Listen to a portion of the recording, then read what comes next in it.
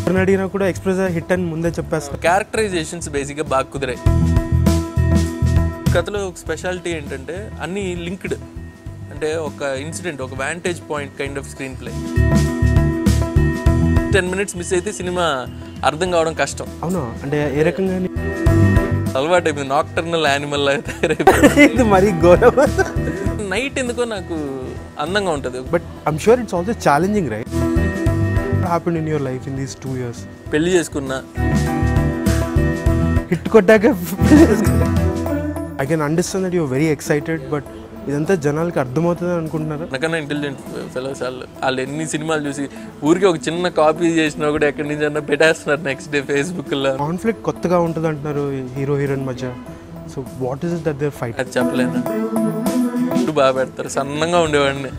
ఇలా తయారయ్యా చివరికి. Gandhi thank you so much for joining it's great pleasure to have you on the show yeah thank you first of all congratulations అండి ఆ cinema express Raja గురించి. చాలా మంచి buzz ఉంది. ఫర్ సమ్ రీజన్ ఎవరిని అడిగినా కూడా ఎక్స్ప్రెస్ హిట్ అని ముందే చెప్పేస్తున్నారు. అసలు ఏంటి కాన్ఫిడెన్స్ మీరైనా చేశారా? అందరికి ఇలా చెప్పడానికి. లేదండి బేసిక్గా అన్నీ వర్కౌట్ అయ్యాయి. అంటే మేము ఏదైతే అనుకున్నాం క్యారెక్టరైజేషన్స్ కానీ అన్ని క్యారెక్టర్స్ కానీ అంటే డబ్బింగ్ థియేటర్లో చూసిన వాళ్ళు అండ్ దెన్ సీజీ చేసేవాళ్ళు కానీ అందరూ ఆర్ఆర్ చేసేవాళ్ళు అందరూ కూడా ఎంజాయ్ చేస్తున్నారు బేసిక్గా సో అలా బజ్ వచ్చిందని నేను అనుకుంటున్నాను. సో క్యారెక్టరైజేషన్స్ బేసిక్గా బాగా కుదిరాయి. అందులో యాక్టర్స్ ఎవరైతే మేము అనుకున్నామో ఆ ఒక్కొక్క క్యారెక్టర్కి వాళ్ళంతా కూడా బాగా ప్రేమించి చేశారు క్యారెక్టర్స్ని. అంటే ఇన్వాల్వ్ అయ్యి చేశారు. మనకు ఇలాంటి క్యారెక్టర్ దొరికింది మనం ప్రూవ్ చేసుకోవాలి అనే తాపత్రయంతో చేశారు. సో బేసిక్గా అన్నీ వర్కౌట్ అయ్యాయి. మొన్న మీ ఒక ఇంటర్వ్యూ చూస్తుంటే ఒక టెన్ మినిట్ ఇంటర్వెల్లో క్యారెక్టరేషన్ కొత్తగా ఉంటాయని ఒక అట్లీస్ట్ ట్వంటీ టైమ్స్ చెప్పారు అనమాట so I want ask you that like can you be more specific? కొత్తగా అంటే ఏంటి ఎట్లా? ఫర్ ఎగ్జాంపుల్ ఎవరికి చెప్పలేదు మీకు చెప్తున్నా. ఫర్ ఎగ్జాంపుల్ ధనరాజ్ క్యారెక్టర్ ఉంది. వాడి పేరు ఇనుము. ఫస్ట్ మూవీ బిగిన్ అయ్యేది అతనితో ఎండ్ అయ్యేది అతనితో అనమాట బేసిక్గా అతని క్యారెక్టరైజేషన్ ఏంటంటే వీడు వాయిస్ ఓవర్లో చెప్తాం. వీడి పేరు ఇనుము. బేసిక్ వీడు ఒక దొంగ. వీడికి ఎక్కడ ఇనుము కనపడితే అక్కడ కట్ చేసి కేజీ లెక్కన అమ్మేస్తుంటాడు వీడు ఎక్కువసార్లు చూసిన ఒకే ఒక సినిమా ఐరన్ మ్యాన్. ఆడికి నచ్చిన పాట ఒకే ఒక పాట అంటే ఆడు ఫోన్ మోతుంది. ఇనుములో ఒక హృదయం మొలిచెనే అనేసి. ఆడికి ఆ కథకి ఎటువంటి సంబంధం ఉండదు. కానీ ఆడు ఎక్కడ కనపడతాడో అక్కడ ఒక ట్విస్ట్ జరుగుతుంది. ఎక్కడ కట్ చేస్తాడో అక్కడ కథ ఒక చిన్న చేంజ్ అవుతుంది అనమాట ఒక ట్విస్ట్ అంటే కథ అక్కడతో అక్కడ మారిపోతుంది. సో ఆడి క్యారెక్టరైజేషన్ అలా ఉంటుంది. నో డైలాగ్స్ అతని క్యారెక్టర్కి డైలాగ్స్ లేవు అసలు ఏం మాట్లాడు జస్ట్ కట్ చేసుకొని వెళ్ళిపోతాడు. ఒక ట్విస్ట్ జరుగుతుంది. సో ఆ కైండ్ ఆఫ్ క్యారెక్టరైజేషన్స్ ఇప్పుడు ఫర్ ఎగ్జాంపుల్ సప్తగిరి. ఒక పొల్యూషన్ వ్యాన్ ఉంటుంది కదా? రోడ్ మీద పొల్యూషన్ చెకింగ్ వ్యాన్ అలా నడుపుకునే ఒక క్యారెక్టర్ ఒక హీరో గారి క్యారెక్టర్ ఒక ప్రభాసిన్ క్యారెక్టర్స్. ఇద్దరు కూడా వైజాగ్ మొత్తానికి బ్యావర్స్గా తిరిగే వాళ్ళ మీద ఒక సర్వే నిర్వహిస్తే ఫస్ట్ శర్వా ఉంటాడు సెకండ్ సెకండ్ ప్రభాసిన్ ఉంటాడు. వాళ్ళిద్దరిని పోలీస్ స్టేషన్కి పిలిపించి ఏంట్రా ఇది? అంటే ఇద్దరు కొట్టుకుంటారు. అరే నువ్వు ఎలా వచ్చావురా నెంబర్ వన్? నేను కదరా రావాలి. వాళ్ళు number one number two positions కొట్టుకుంటారు బేసిక్గా పోలీస్ స్టేషన్లో. అంత అమాయకంగా ఉంటాయి క్యారెక్టర్స్. శకలక్ శంకర్ క్యారెక్టర్ కానీ ఒక ధనలక్ష్మి డ్యాన్స్ ట్రూప్ నడుపుకునే ఒక ఓనర్ అతను ఆ ట్రూప్కి. సో అంతా నాగేశ్వరరావు గారి లాగా మాట్లాడడం వాళ్ళు చిరంజీవి గారి లాగా మాట్లాడడం ఈ కైండ్ ఆఫ్ ఇదంతా ఉంటుంది అనమాట వెరీ న్యాచురల్ న్యాచురలిస్టిక్గా ఉంటాయి అన్ని క్యారెక్టర్స్ కూడా. క్యారెక్టర్స్ అంటే ఏంటి? చాలా వరకు real life inspiration yeah real life inspiration నేను చూసిన వాళ్ళనే ఇప్పుడు గిరి క్యారెక్టర్ ఉంటుంది. అదేంటంటే బేసిక్గా డౌన్లో బండి ఆపేస్తాడు. పెద్ద చేజ్ జరుగుతూ ఉంటుంది. ఆ డౌన్ వస్తే ఇంజిన్ ఆపేస్తాడు. ఎందుకురా అంటే పెట్రోల్ ఎందుకన్నా బొక్క అనేసి అంటాడు అనమాట సో ఆ కైండ్ ఆఫ్ నేను క్యారెక్టర్స్ చూసిన క్యారెక్టర్స్ డౌన్లో వచ్చి బండి ఆపేస్తారు చాలామంది ఆపేసి పెట్రోల్ సేవ్ చేయడానికి. ఒక పెద్ద చేజ్ జరుగుతూ ఉంటే వాడు ఆపారు దొబ్బుతాడు సో ఈ కైండ్ ఆఫ్ ఇవన్నీ ఉంటాయి అనమాట రియల్ లైఫ్ క్యారెక్టర్స్ ఎక్కువ ఉంటాయి. సినిమాటిక్గా ఉండవు బేసిక్గా మీరు మనం కనెక్ట్ అయ్యే క్యారెక్టర్స్ ఎక్కువ ఉంటాయి సినిమాలో. నేను ఒక రకంగా ఆలోచిస్తే యూనో స్క్రిప్ట్ రాసేటప్పుడు it must been a very challenging part for you Yeah. అంటే క్యారెక్టర్స్ ఇంత న్యాచురల్గా ఉన్నా కూడా మీరు అనుకున్న కథకి ఇవన్నీ కరెక్ట్గా సెట్ అయ్యి సో అది చాలా ఇబ్బంది పడ్డారు. అంటే did you struggle lot to write that right దానికి ఆల్మోస్ట్ ఒక సిక్స్ మంత్స్ పట్టింది. అందులో ఈ ఈ కథలో ఒక స్పెషాలిటీ ఏంటంటే అన్నీ లింక్డ్ అంటే ఒక ఇన్సిడెంట్ ఒక vantage point kind of screenplay so బేసిక్గా ప్రతి క్యారెక్టర్ లింక్ అవ్వాలి దానికి. అది కూడా ఫోర్స్డ్గా ఉండకూడదు. చాలా న్యాచురల్గా రావాలి అది. సో దానికోసం చాలా కష్టం చాలా కష్టాలు పడ్డాను. అంటే బేసిక్గా చాలా రోజులు థింక్ చేసేవాడిని. అంటే నాకే థ్రిల్లింగ్గా ఉండాలి.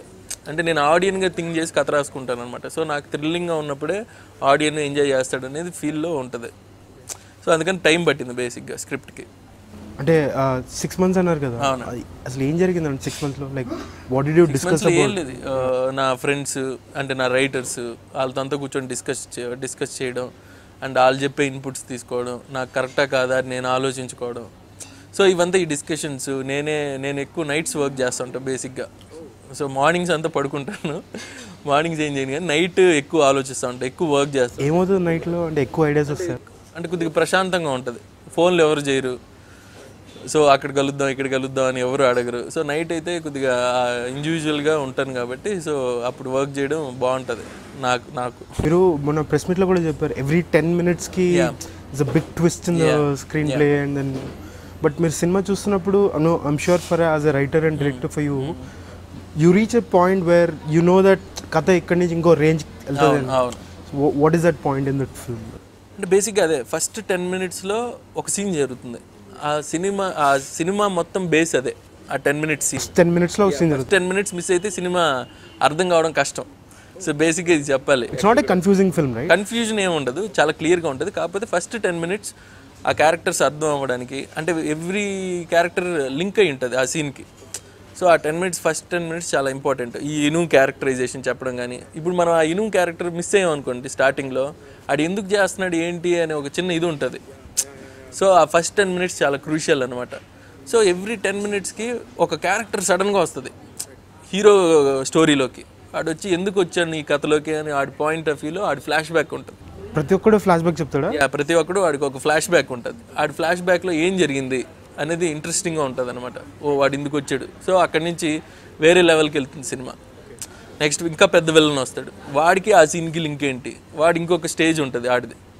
సో ఈ కైండ్ ఆఫ్ దీంట్లో ఇంట్రెస్టింగ్గా ఉంటుంది స్క్రీన్ ప్లే సో ఈ సినిమాలో Sharwanand what is he chasing అంటే అది చెప్పలేను కానీ అది కొద్దిగా చిన్న సస్పెన్స్ కానీ బేసిక్ ఒక కొత్త కాన్ఫ్లిక్ట్ ఉంటుంది. హీరోకి హీరోయిన్కి మధ్య. కొత్త కాన్ఫ్లిక్ట్ కొత్త కాన్ఫ్లిక్ట్ వాళ్ళిద్దరు బ్రేకప్ అవ్వడానికి కానీ వాళ్ళిద్దరి మధ్య ఇది జరగడానికి కానీ కొత్త కాన్ఫ్లిక్ట్ ఉంటుంది. అదే డ్రైవ్ చేస్తూ ఉంటుంది సినిమా మొత్తం. మీరు శర్వన్ ఫస్ట్ టైం ఎప్పుడు కలిసారండి? అంటే how did you to meet and interact and decide to work Sharwa Sharwanand garu నాకు పెద్ద అంటే శర్వానంద్ గురించి ఇలాంటి కైండ్ ఆఫ్ సబ్జెక్ట్ని పెద్ద ఆలోచించాం శర్వానంద్ గారిని. అంటే కొద్దిగా సీరియస్ మోడ్లో ఆ kind of is very good actor but ఇలాంటి కథలకి అనుకోవన్నమాట. ఒకసారి నేను రన్ రాజరన్ సినిమా చూసాను చూడు మొత్తం సినిమా మొత్తం శర్వానందనే చూసిన. అంటే ఆ ఫ్రెష్నెస్ ఆ క్యారెక్టర్ ఎవరిని ఇమిటే ఇమిటేషన్ ఉండదు తన స్టైల్ ఉంటుంది.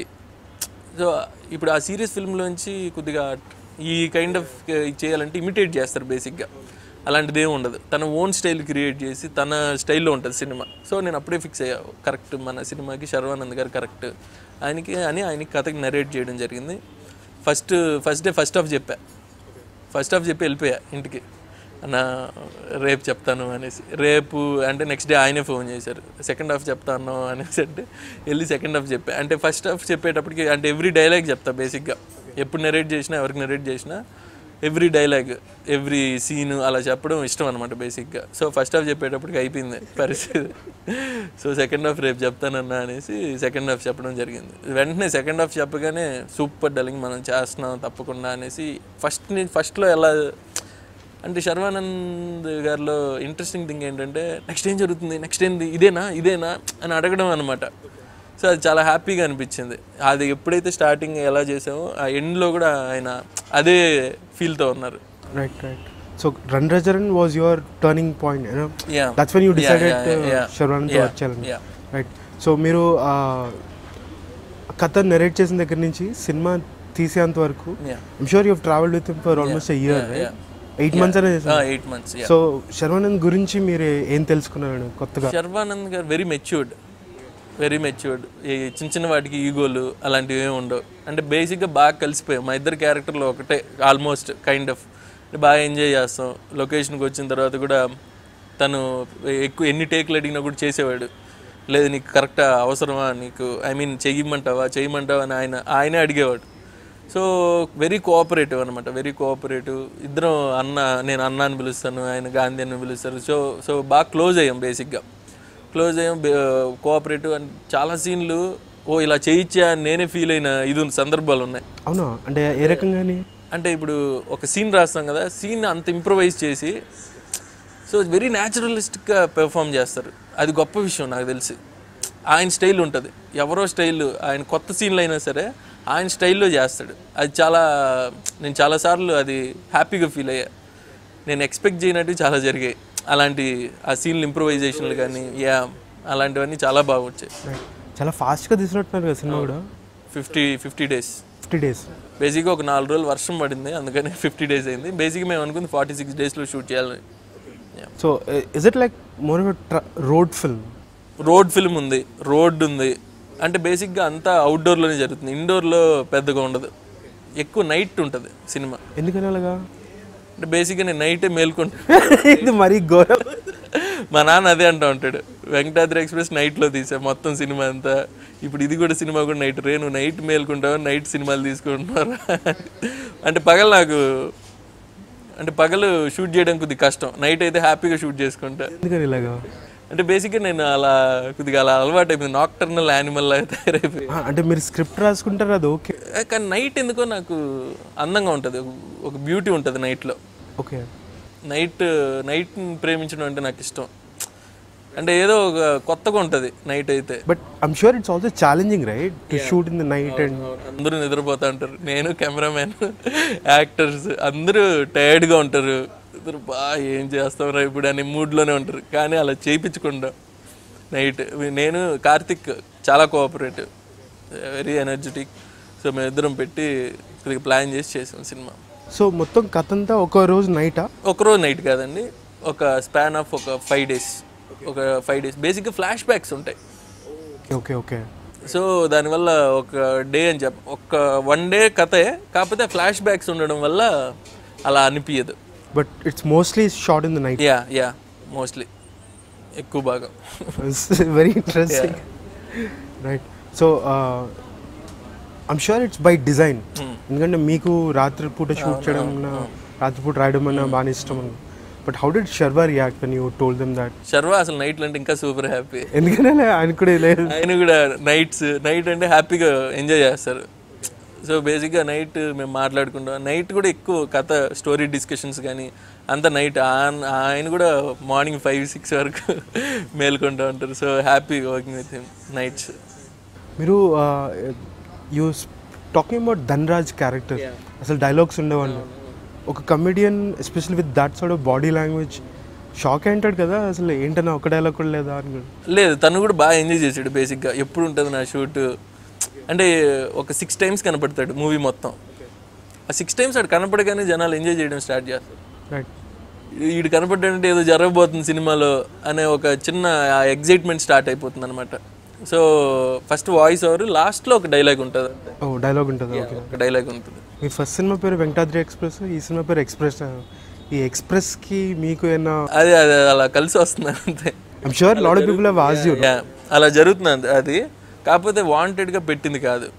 బేసిక్గా అనుకున్నప్పుడే కైండ్ ఆఫ్ రేసీగా ఉంటుంది స్క్రీన్ ప్లే హీరో క్యారెక్టర్ కూడా అలా ఉంటుంది. ఎక్స్ప్రెస్ రాజా అని ముందే పెట్టుకున్నా తర్వాత శర్వాన్ని కలవడం జరిగింది. సో ఆయన కూడా రన్ రాజా రన్ చేసి ఉండడం వల్ల అందరూ అడగడం స్టార్ట్ చేశారు బేసిక్గా. అంతేగాని వేరే సెంటిమెంట్ కానీ అలాంటిది ఏం లేదు.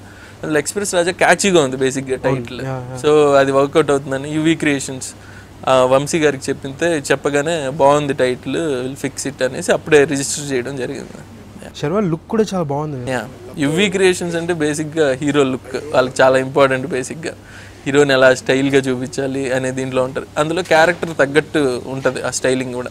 సో రన్ రాజర్ అన్న తర్వాత I'm sure this is most stylish look yeah at least in terms of how he looks on screen so మీరు ఈ సినిమా కొంచెం స్పెషల్గా అయినా చేశారా? శర్వానంద్ క్యారెక్టర్ కొత్తగా డిజైన్ చేయడం జరిగింది. అంటే క్యారెక్టర్ అంటే లుక్ కూడా క్యారెక్టర్ తగ్గట్టే ఉంటుంది బేసిక్గా. అంటే రన్ రాజరన్కి దీనికి చాలా డిఫరెన్స్ ఉంటుంది లుక్ వైజ్గా. వైషితో చాలా మందిని చూసాం బేసిక్గా ముందు హీరోయిన్స్. చాలా మందిని చూసాం. నాకు ఎందుకో నా అమూల్య క్యారెక్టర్ పేరు. క్యారెక్టర్ తగ్గట్టు ఎవరు సెట్ అవ్వట్లేదు. ఈ అమ్మాయిని చూడగానే ఒక చిన్న ఏదో చేయించుకోగలం అనే ఒక చిన్న ఇంప్రెషన్తో పిలిపించాను బేసిక్గా కానీ ఫోటో షూట్ చేసిన తర్వాత ఓ సూపర్ ఈ అమ్మాయి కరెక్ట్గా సెట్ అవుతుందని. తర్వాత అమ్మాయి సీన్లు స్టార్ట్ చేసిన తర్వాత రిహార్సల్స్ అన్నీ స్టార్ట్ చేసిన తర్వాత పర్ఫెక్ట్ అని అనిపించింది. అలా షూట్లో ఇంక షూట్ దిగిన తర్వాత అమ్మాయి తెలుగు రాపినా కూడా పెద్ద పెద్ద డైలాగులు కూడా సింగిల్ టేక్లో చెప్పేయడం కొద్దిగా షాకింగ్గా ఉన్నింది అనమాట ఓ సింగిల్ డైలాగ్లో చెప్పేస్తుంది సింగిల్ టేక్లో అనేసి శర్వా అన్న నేను ఇద్దరం ఇలా చూస్తూ ఉంటాం. ఏటర్ ఇలా చెప్తుంది అనేసి. సో అమ్మాయి కూడా చాలా ప్రొఫెషనల్ చాలా హార్డ్ వర్కింగ్ చాలా బాగా చేసింది అమ్మాయి. సో కాన్ఫ్లిక్ట్ కొత్తగా ఉంటుంది అంటున్నారు హీరో హీరోయిన్ మధ్య. So what is that their fight అది చెప్పలేనండి. అది అది అదే బేసిక్గా మూవీ పాయింట్ అది. సో అది చెప్పలేను. Yeah what is Surbhi's character in the film Amulya బేసిక్గా అమ్మాయి ఇంట్రోనే ఫైట్ ఉంటుంది. అమ్మాయి ఇంట్రోనే ఫైట్. బేసిక్గా హీరో అక్కడే పడ్ పడడం స్టార్ట్ చేస్తాడు. అమ్మాయికి ఈ అమ్మాయి గ్లామర్తో పాటు గట్స్ కూడా ఎక్కువరా. సో ఈ అమ్మాయిని లవ్ చేయాలి అని ఆ మూడ్లో ఉంటాడు. అయ్యా కొద్దిగా అమ్మాయి మోసాన్ని భరించలేదు. ఈ కైండ్ ఆఫ్ క్యారెక్టర్ అనమాట చాలా బాగుంటుంది.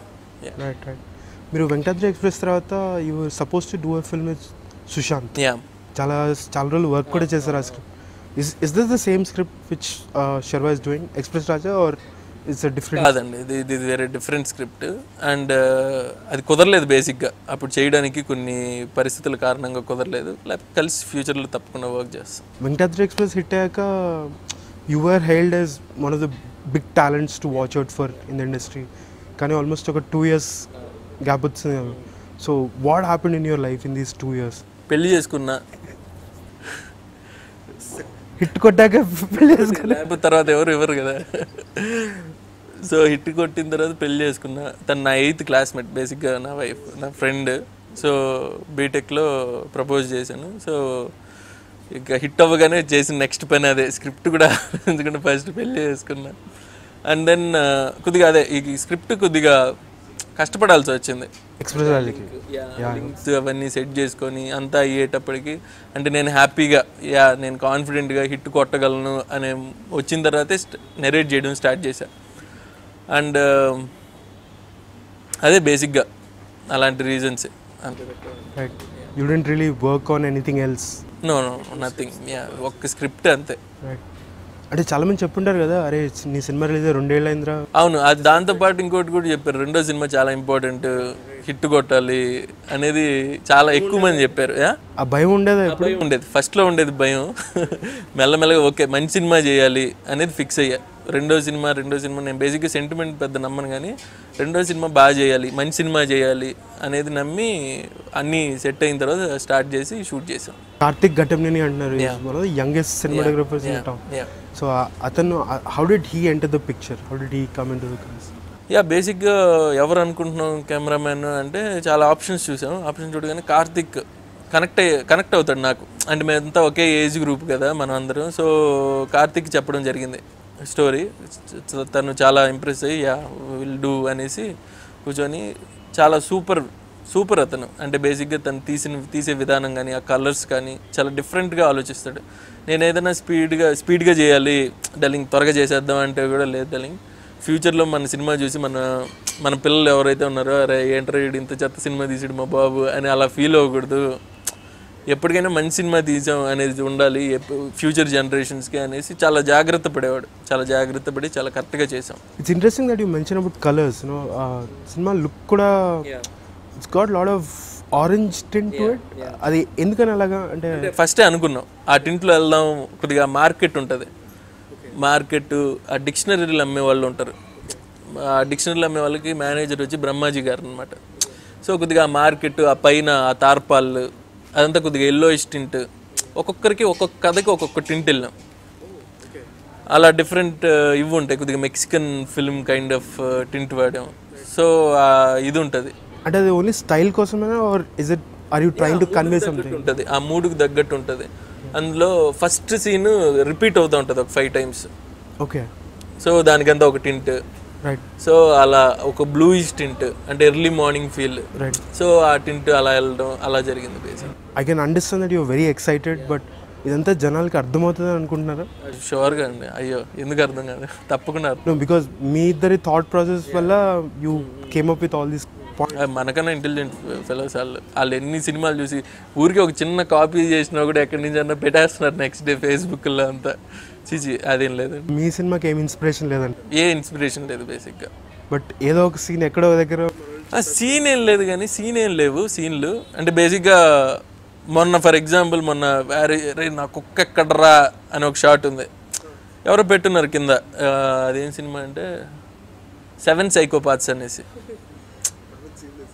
సెవెన్ సైకోపాత్స్ నేను చూశాను మంచి సినిమా. పెట్టిన తర్వాత చూశాను. ఓ ఏమన్నా ఉందా అనేసి. అంటే బేసిక్గా ఆడు కుక్క గురించి ఒక తిరిగే క్యారెక్టర్ సో అలాంటి చిన్న చిన్న కనెక్షన్స్ ఉంటాయి అంతే బేసిక్గా అది మనం అనుకోనో అనుకోకుండానో అలా జరుగుతుంటాయి కానీ ఈ cinema complete a a copy ఏం లేదు. యూవీ క్రియేషన్స్తో మీరు ఫస్ట్ టైం వర్క్ చేస్తున్నారు అండ్ వాళ్ళు అతి తక్కువ టైంలో become one of the most popular producers in the industry so వాళ్ళతో మీ డిస్కషన్స్ ఎలా ఉన్నాయి లైక్ బేసిక్గా శర్వానంద్ గారి కథ చెప్పగానే ఎవరితో చేద్దాం అని అన్నారు. అనగానే గాంధీ యువీ క్రియేషన్స్ చేద్దాం నేను కూడా మనసులో అనుకుంటున్నాను యువీ క్రియేషన్స్ పేరు చెప్పాలి ప్లీజ్ దేవుడా దేవుడా అనుకొని యువీ క్రియేషన్స్ చేద్దాం అన్నాడు. సూపర్ అన్న చేసేద్దాం అని. వంశీ గారికి కథ చెప్పడం కథ చెప్పడం జరిగింది. ఆయనకి కూడా బాగా నచ్చి యా స్టార్ట్ చేద్దాం అనేసి బేసిక్గా వాళ్ళు ప్రతిదీ కేర్ తీసుకుంటారు. ప్రతిదీ వెరీ ప్యాషనేట్ పీపుల్ అండ్ ముగ్గురు ప్రొడ్యూసర్లు ముగ్గురు ఉన్నారు వంశీ గారు ప్రమోద్ గారు విక్కీ గారు. సో వాళ్ళకి ముగ్గురు ఉన్నా సరే అంటే బేసిక్గా ఒక ముగ్గురు మంది ముగ్గురు ప్రొడ్యూసర్లు ఉంటే ఒక్కొక్కరు ఒక్కొక్కటి చెప్తారు. కానీ వాళ్ళ వేవ్ లెంత్ అంతా ఒకేలాగా ఉంటుంది. అందరూ ఒకే వేవ్ లెంత్లో ఉంటారు. అండ్ ఒకరినొకరు రెస్పెక్ట్ ఇస్తారు. అంటే ఇప్పుడు వంశీ గారు చెప్పారని వేరే వాళ్ళు వద్దంటారు. అలాంటి కైండ్ ఆఫ్ ఈగోస్ ఏం లేవన్నమాట బేసిక్గా వాళ్ళు ముగ్గురు ఒకే వేవ్ లెంత్లో ఉంటారు. అండ్ uh, ఏదన్నా మనం కొద్దిగా ఈ సీన్ కొద్దిగా ఫాస్ట్గా చేద్దామన్నా కూడా వద్దు. మెల్లగా చేయి ఏం పర్లేదు. వాళ్ళు సీన్ బాగా రావాలి. ఏదన్నా షార్ట్ మిస్ అయినా కూడా మళ్ళీ ప్యాచ్ వర్క్లో చేసేవాళ్ళం అనమాట అంటే నేను ఎలా వర్క్ చేశానంటే ప్రతిరోజు షూట్ చేసి దాన్ని ఎడిట్కి పంపించేసేవాడిని. ఈవినింగ్ అంతా ఎడిట్ అయ్యి వచ్చేసేది సీన్ సో ఏమన్నా ఉంటే కరెక్షన్ చేసుకొని మళ్ళీ నెక్స్ట్ డే షూట్ పెట్టేసుకొని చేసేవాడిని. సో కొద్దిగా చాలా వాళ్ళ ప్రొడక్షన్లో చేసి అసలు లవ్లో పడిపోతాం. యూవీ క్రియేషన్ సూపర్ మన హోమ్ బ్యానర్ అయిపోతుంది. నెక్స్ట్ సినిమా యూవీ క్రియేషన్స్లో చేయాలరా బాబు ఎలా అయినా. బాగా పాంపర్ చేస్తారు ప్యాంపర్ చేస్తారు ఫుడ్ బాగా పెడతారు. సన్నంగా ఉండేవాడిని. ఇలా తయారయ్యా చివరికి. ఫ్రేమ్ కూడా పట్టనేమో. మీరు చాలా ఇంటర్వ్యూస్లో ఈ మధ్య ప్రవీణ్ లక్కరాజ్ గురించి కూడా you been very supportive and encouraging of him so why did you want work with him అంటే అతని వర్క్ ఇంతకుముందు ఎప్పుడైనా చూసారా? లేకపోతే యా బేసిక్గా ఫస్ట్ ప్రవీణ్ గారితో చేద్దాం ప్రవీణ్తో చేద్దాం అనేసి వంశీ గారు చెప్పారు. సో ఒకసారి వెళ్ళి కలుద్దాం అనేసి కలవడం జరిగింది. కథ చెప్పగానే వెరీ ఎగ్జైటెడ్ బాగా ఎగ్జైట్ అయ్యి నేను చేస్తాను డల్లింగ్ అంటే సరే అనేసి ఫస్ట్ ట్యూన్ వినిపి అంటే హూలాల్లో ఇచ్చాడు. నాకు ఇంక విపరీతంగా నచ్చేసింది ఆ song yeah fix will do అనేసి అక్కడి నుంచి మళ్ళీ నెక్స్ట్ కలర్ఫుల్ చిలక నెక్స్ట్ ఈ వింత నీదిగా సాంగ్స్ అన్నీ ఇవ్వడం జరిగింది. ట్వంటీ ఫోర్ సెవెన్ పార్టీ అంతా బాగా ఎంజాయ్ చేసాం బేసిక్గా నైట్ అంతా ఈ ట్యూన్స్ చేయడం ఒక పక్క సాఫ్ట్వేర్ కంపెనీతో ఏదో మాట్లాడుతూ ఉంటాడు. జావా అంటాడు ఈ పక్క హూలల్లా అంటాడు అదే అంటా అంట ఏ బాబోయ్ ఇంత కష్టం ఎలా పడతారండి బాబు మీరు? నేను టూ మంత్స్ బ్యాక్ ప్రవీణ్ కలిసినప్పుడు he was working on your film so అప్పుడు చెప్పాడు సౌండింగ్ చాలా కొత్తగా ఉంటుంది very fresh background score and also what is it like can you talk about బేసిక్గా ప్రవీణ్ ప్రవీణ్ చేయాల్సింది బ్యాక్గ్రౌండ్ స్కోరు కొన్ని కారణాల వల్ల అంటే తను యూఎస్ హెల్ప్ ఏదో తను ఎవరికో బాగాలేదంటే వెళ్ళాడు. సో జేబీ గారు చేశారు ఆర్ఆర్. ఓకే చాలా బాగా చేశాడు. కొత్త సౌండింగ్ ఉంటుంది. అంటే సాంగ్స్ తగ్గట్టే. ప్రవీణ్ ఏదైతే అనుకున్నాడో ఆ కైండ్ ఆఫ్ ఇదే ఉంటుంది. చాలా ఫంకీ ఫీల్ ఉంటుందా? యా ఫంకీ కొద్దిగా మంచి ఫ్లేవర్ ఉంటుంది సీన్లో అంటే సీన్ని ఎన్హాన్స్ చేయడానికి కరెక్ట్గా ఉంటుంది ఆర్ఆర్ మీరు సినిమా తీస్తారు ఇంకొక జనవరి ఫోర్టీన్ రిలీజ్ అవుతుంది. సో నేనేంట్రా ఇలాంటి సినిమా తీసాను అనే ఎప్పుడైనా అనిపించిందా? Like what I mean is did you surprise yourself in the process yeah ప్రతిరోజు సర్ప్రైజ్ అండి బేసిక్గా నాకు ప్రతిదీ ట్విస్టే ఉంటుంది. జనవరి ఫోర్టీన్త్ రిలీజ్ ట్విస్ట్ నాకు. సో ఈ కైండ్ ఆఫ్ ఇవన్నీ ఉంటాయి. సో హ్యాపీ బేసిక్గా కంటెంట్ కంటెంట్ హ్యాపీగా ఏదైతే అనుకున్నామో అది తీసాం. ఏదైతే వర్కౌట్ అవుతుంది అని అనుకున్నామో అదే వచ్చింది. సో ఇంకా టెన్షన్ పడడానికి బేసిక్గా లేదు. I'm happy with that output and all almost every film మేకర్కి అదొక డ్రీమ్ ఉంటుంది కదా. సంక్రాంతికి మన సినిమా రావాలని. సూపర్ హ్యాపీ అసలు. ఇంట్లో వాళ్ళు ఎలా రియాక్ట్ అవుతున్నారు? అదే. నాన్న హ్యాపీ బేసిక్గా నాన్న మమ్మీ అందరూ eagerly waiting for the movie thank you so much for joining us Gandhi it was a great pleasure talking to you but before leaving any final words to our iDream viewers about your film express Raja బేసిక్గా కొత్త cinema screen play అంతా కూడా డిఫరెంట్గా ఉంటుంది. Every ten minutes every every minute enjoy చేస్తారు బేసిక్గా fun ఉంటుంది entertainment సంక్రాంతికి కావాల్సింది ఎంటర్టైన్మెంట్ ఫన్ సో ఇంకా సంక్రాంతి ఆ మూడ్ ఇంకా పెరగడానికి ఎక్స్ప్రెస్ రాజా చూడొచ్చు. సో జాన్ ఫోర్టీన్త్ థియేటర్లోకి వస్తుంది. తప్పకుండా చూడండి. సో కొత్త సినిమా కాబట్టి ఎంకరేజ్ చేస్తారని అనుకుంటున్నాను. Thank you